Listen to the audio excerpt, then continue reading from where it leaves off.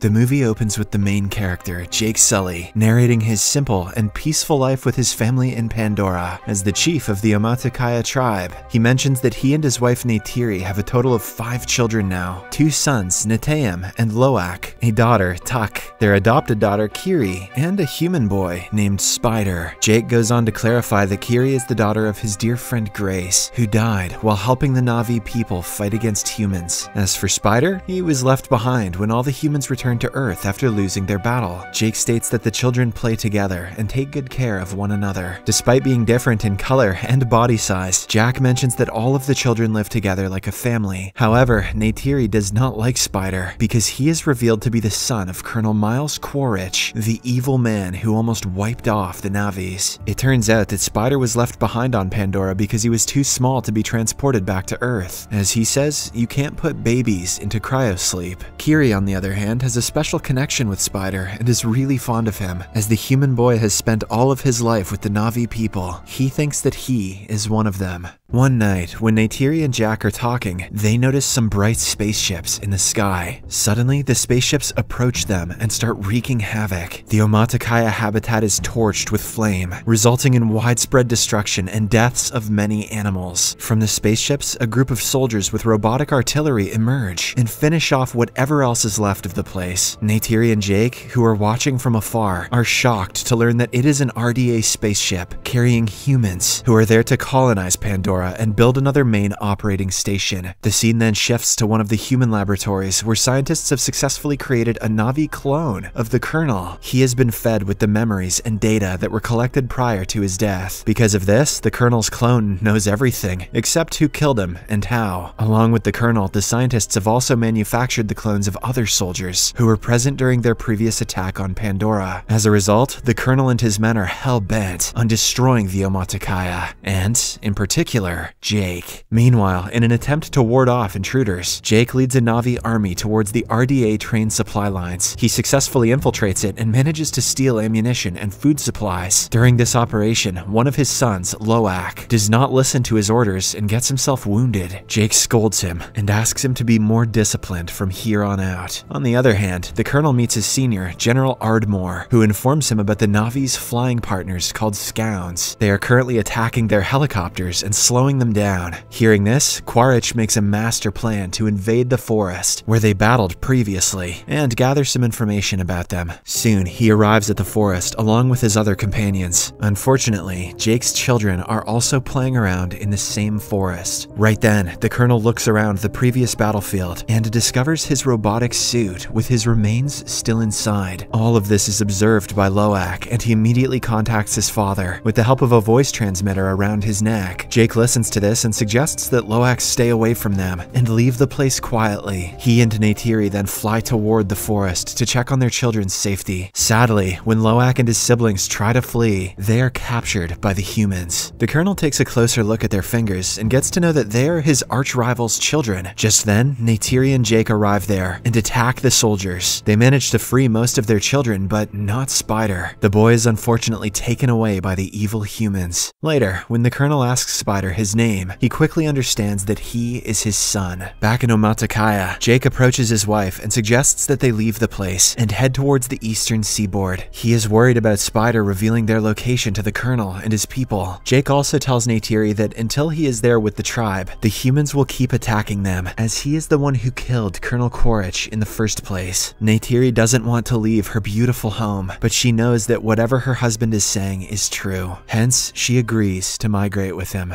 On the other hand, General Ardmore dishes out some cruelty on Spider by placing him in a rotating machine. Yes, put him in the little naked human spinning machine. That'll make him talk. He tries to extract important information from the boy, but to no avail. Spider is too loyal to his Navi parents, and he just won't budge. Surprisingly, the Colonel cannot see his son in this state, so he immediately stops the spinning machine. He then approaches the General and tells her that he will handle Spider in his own way. Later, he meets the boy in a separate room and reassures him that he's he's not a bad person, he also discloses that he's here to take him back to Earth. This warms up Spider's heart, and he eventually agrees to provide him with the information he wants. In the next scene, Jake and his entire family leave their native home and fly away on their scouts. After flying for a few days, they finally arrive at a place called Metkayina, where another Navi tribe lives. Surprisingly, the Navis living here are fainter in color, and they prefer to stay in the water. Seeing Jake and his gang, they start making fun of their appearance. Soon, the head of the tribe, Tonowari, arrives with his wife. He feels skeptical about Jake and his family, and mentions that they are not suited to survive in the water. However, desperate to save his family, Jake promises that they will adapt to the place in no time. He then reveals how they are being chased after by some humans. Hearing this, Tonowari finally agrees to let them stay and provides them with shelter. He also asks his children to teach Jake's children how to swim and use their special creatures to move around the water. Obliging to the request, Tonowari's children take their new friends to the ocean and start showing them the basics. Meanwhile, the ever so mischievous Loak tries to connect with a sea creature, but loses control and falls into the water. Seeing him, Tonowari's children start laughing. As all this is happening, the girl Kiri can be seen deep inside the ocean. Surprisingly, she has adapted well to the place and can even control some sea creatures. Mysterious and convenient. The following day, while Kiri is meditating underwater, Tonowari's son Aonung and his friends approach her and start making fun of her, calling her a freak. Because of this, Loak arrives and punches Aonung. Aonung doesn't take this sitting down though, and starts clapping some ass with his tick tail. Later, when Jake finds out about the incident, he angrily orders his son to go and apologize to Aonung, as he is the clan leader's son. Reluctantly, Loak agrees and says sorry. Although Aonung forgives him in front of the others, deep down he is still angry. So, in order to teach Loak a lesson, he takes him to a scheduled location on the pretext of swimming. Loak is completely oblivious that there are dangerous sea predators in the area. A while later, when Loak is fishing, a large predator swims at him rapidly. Terrified, afraid, Loak looks around for help but fails to find anyone. But just then, a humongous creature named Payakan comes to the rescue. It swiftly kills the predator with the help of its wide head. Here, we get to know that Payakan is a Tulkun, a peaceful and intelligent creature. There are thousands of Tulkuns in the sea, which the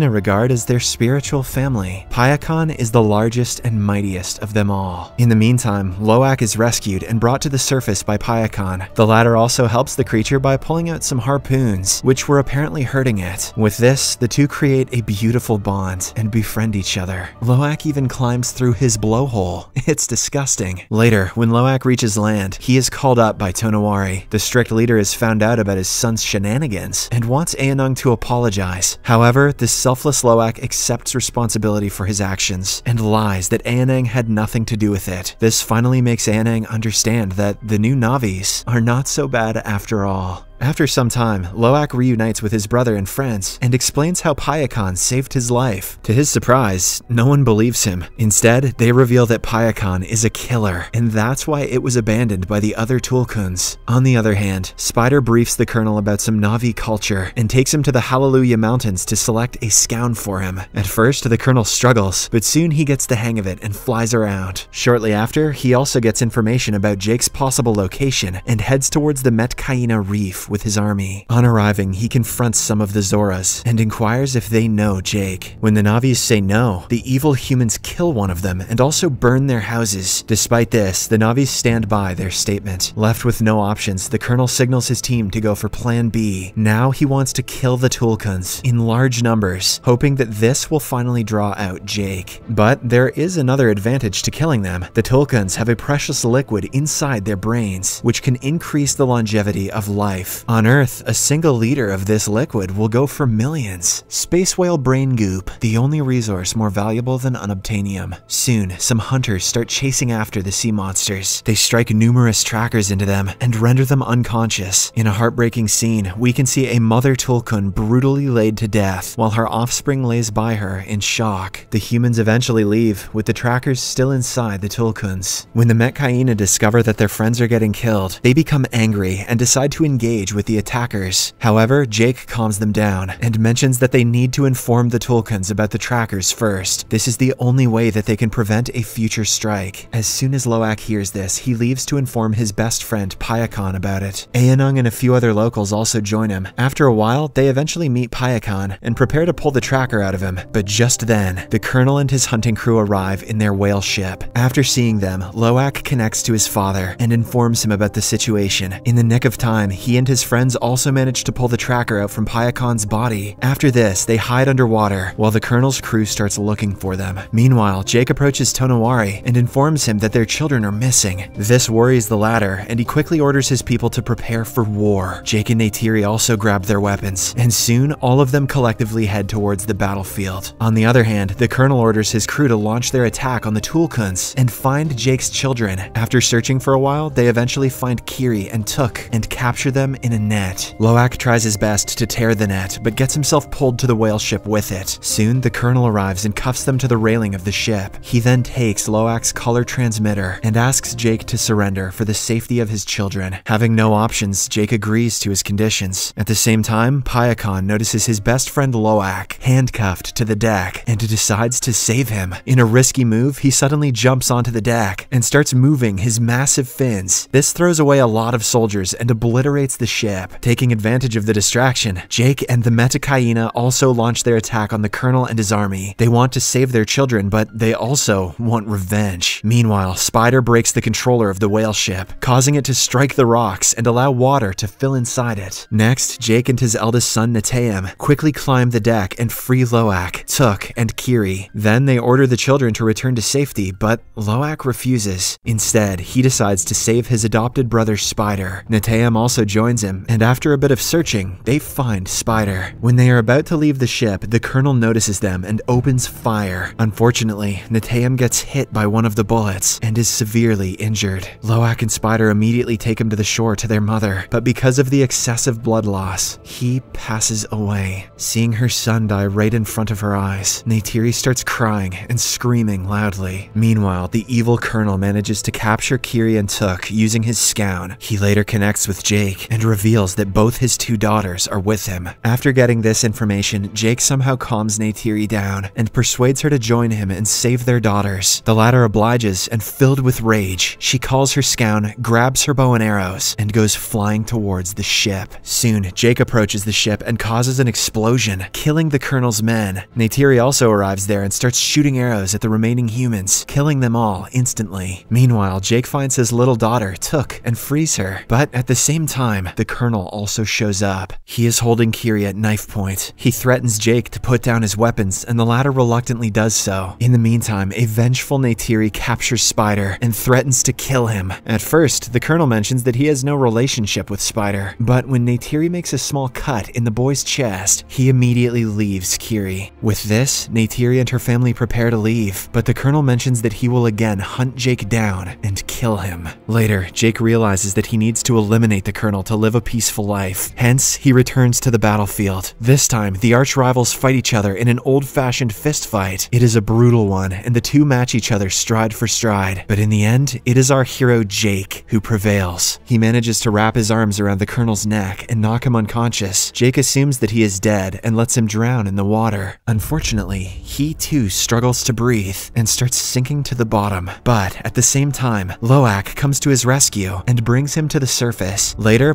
Payakan carries the whole family and brings them to the shore. On the other hand, Spider also pulls his biological dad out of the water and saves his life. But when the colonel asks him to leave the place with him, Spider refuses and returns to his adoptive family. In the last scene, Jake's family and the whole Metkayina tribe bury Neteyam's body at the bottom of the ocean, where the lighting tubes embrace him like their own. The movie ends with Jake remembering the best memories of his elder son and realizing that he is in heaven with their gods. Subscribe for more videos like this, turn on notifications, and leave a like to help the channel out.